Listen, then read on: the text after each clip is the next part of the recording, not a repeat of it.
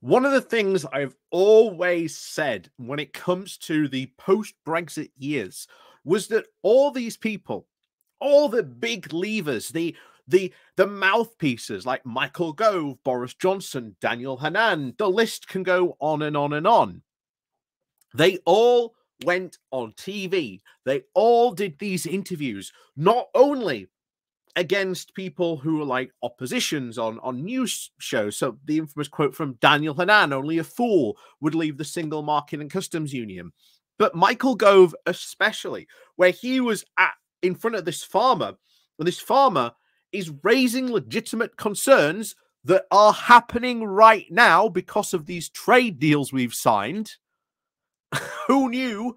Who knew that was going to happen?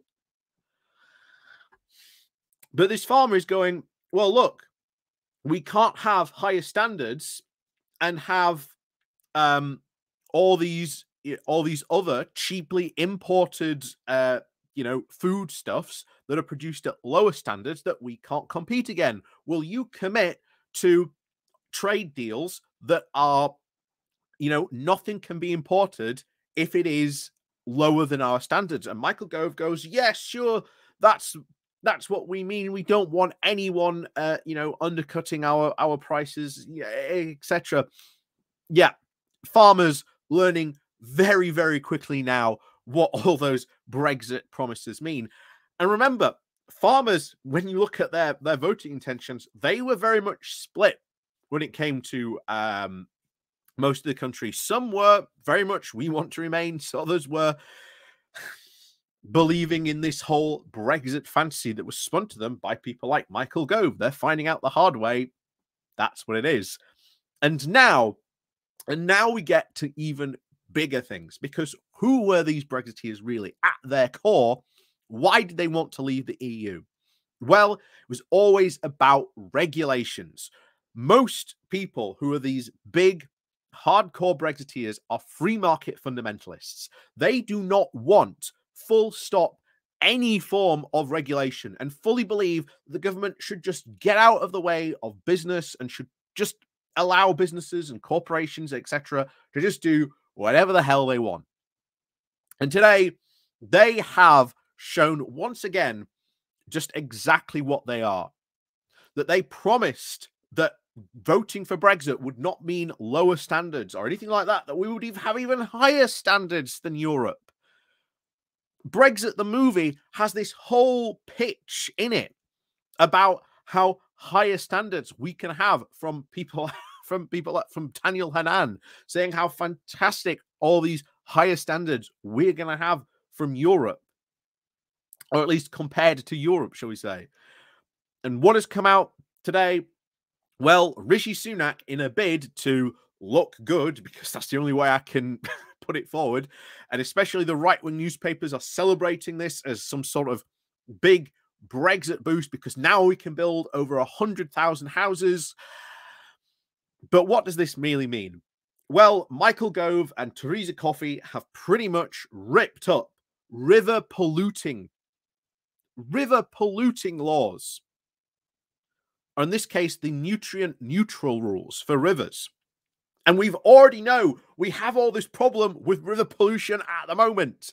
The environmental agency continuously bringing this up, saying, hey, yeah, our rivers aren't safe. External third party environmental protection companies going, yeah, rivers are, are, are over polluted. And now, well, here's the here's the plan, or at least Michael Gove and Theresa Coffey seem to have come up with. If our rivers are already polluted, and it's the rules that are telling us that our rivers are over polluted, why not just lower the rules? Because here's the thing: under these new changes that both Gove and Coffey are now trying to uh, heavily push forward, technically now under our rules, those rivers aren't polluted. So what are you complaining about? Under our regulations, those rivers are fine. Have at it. Meanwhile, these rivers stink to high heaven, are being destroyed ecologically. And yet, this is the Brexit freedoms that Michael Gove has now claimed. We can now pollute the rivers because they can the rules can be watered down. That's where we are with Brexit. One of the key promises, I always want to remind people the key promises, and especially from someone like Michael Gove, who always maintained that Brexit would not mean a lowering of standards. It would mean that we could have higher standards.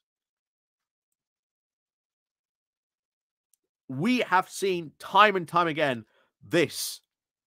And I hope there is going to be a big pushback. I really do hope there is going to be a big public outcry on this. Um, because while all the right wing press are spinning it as, oh my God, it's it's the housing bonanza with the, you know, the UK needs. What in reality this means is that water pollution rules are just almost non existent. They have been watered down. And this means we've seen this from the recent farming changes. We've seen this now in building rules.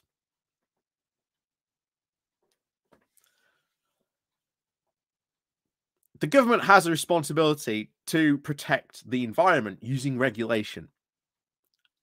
And as we always said throughout all of this, they just do not want that. They have destroyed and defunded and understaffed the regulatory bodies that are responsible for maintaining and policing these standards since Brexit.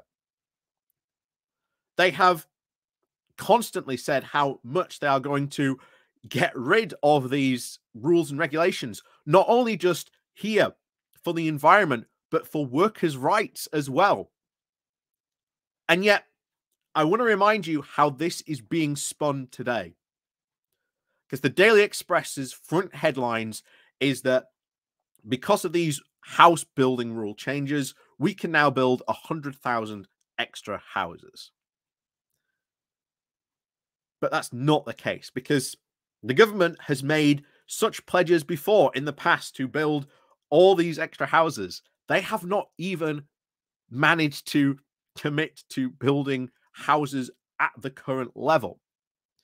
What these new deregulatory measures mean is that, yeah, housing uh, contractors and builders, well, now you don't have to worry about the pollution that you might cause. And that will have a big impact on the environment. It could lead to a lot of uh, bad health outcomes for a lot of people living in those areas. This was not what was promised. And I want to I remember people, this was not what was promised from these Brexiteers in 2016. And it should be continuously brought up that this was what they said that Brexit was not about lowering our standards. But that's what we that's what we constantly said at the time because we knew what those people were. They were free market fundamentalists. As far as they're concerned, they would love just to completely burn every single rule and regulation the government has. Because, as far as they're concerned, the government should not be in the business of regulating, well, markets, businesses, or anything like that. And that is the government we now have, unfortunately, at least for the time being. And I worry that because they know they've got such a limited time left in government, that they know they're going to be experiencing a landslide wipeout, that they decide, at least until the next election, that they might as well go ahead and just start slashing and burning as many of these rules as possible. And it should be up to the opposition now to put as many barriers and blocks in place as possible to stop these regulations from being taken away. So we'll keep an eye on this. But yeah, this is bad. This is incredibly bad. But we'll see what the outcry of this is. But as always, thank you very much for watching. And of course, as always, we'll see you all next time.